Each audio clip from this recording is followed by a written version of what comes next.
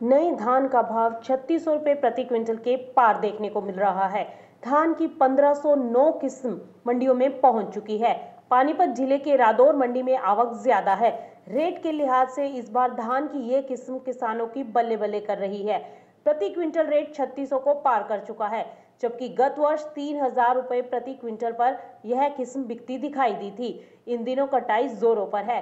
खेत खाली होने के बाद किसान अब दूसरी फ़सल की तैयारी कर सकेंगे। आपको बता दें कि ज़िले में बड़े स्तर पर धान की खेती होती है और इसमें 1509 किस्म आगेती होने के कारण जल्दी पककर तैयार हो जाती है। अच्छे दाम मिलने से किसान खुश हैं। ज़िले में 5000 हेक्टेयर से अधिक एरिया में धान की ये किस्म बोई गई है। धान की फ़सल को लेकर इस बार मौसम सामान्य देखने को मिला है और बारिश भी अधिक नहीं हुई। फ़सल लेकर आए किसानों का कहना है कि इस बार पैदावार गत वर्ष से कम है, लेकिन दाम अच्छे मिल रहे हैं।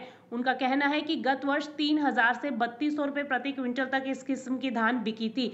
इससे पहले वाले वर्षों में 1800 से उन्नीस सौ रुपए का भाव रहा था। किसानों का कहना है कि धान की 1509 किस्म किसानों के लिए काफ़ी फ़ायदेमंद है। यह किस्म कम अवधि की है और 90 दिन में पककर तैयार हो जाती है। फ़िलहाल रादौर और जगाधरी अनाज मंडी में ही इस किस्म की धान पहुँच रही है। हर दिन 10 से पंद्रह हज़ार बोरी मंडियों में देखने को मिल रही है। धान में नमी की मात्रा फ़िलहाल अधिक है। बिकने से पहले फ़सल को सुखाना पड़ रहा है। इसकी खरीद भी प्राइवेट खरीदारों द्वारा ही की जा रही है। उत्तर प्रदेश के काफ़ी किसान पंद्रह सौ वेरायटी लेकर जा रहे हैं। आरती आड़तियों का कहना है कि इस बार धान की पकाई के लिए मौसम अच्छा रहा और दाम भी अच्छे मिलने से फ़िलहाल किसान काफ़ी खुश हैं। Bureau report, market times TV.